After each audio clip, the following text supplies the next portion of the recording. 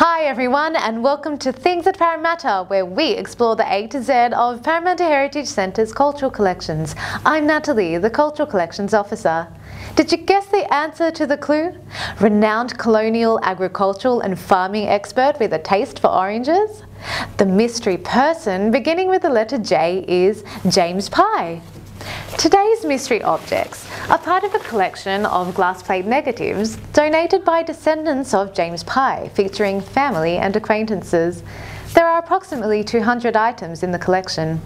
They are fragile to handle, so I'll show you some digitised copies as I introduce you to Pye.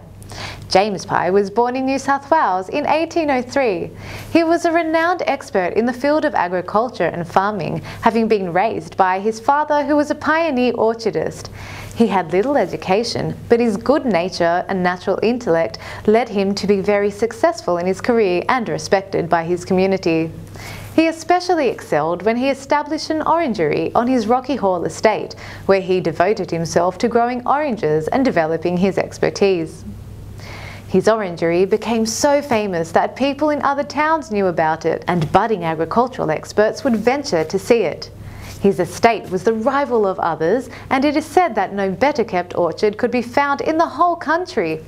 James also made a name for himself as a politician. In 1856, he was elected to the Legislative Assembly as second member for Cumberland North Riding.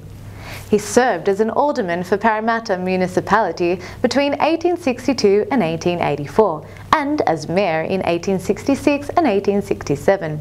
James also founded the Cumberland Agricultural Society in 1857 and was a vice president, trustee and committee member of the Agricultural Society of New South Wales in the 1860s. I hope you enjoyed this story.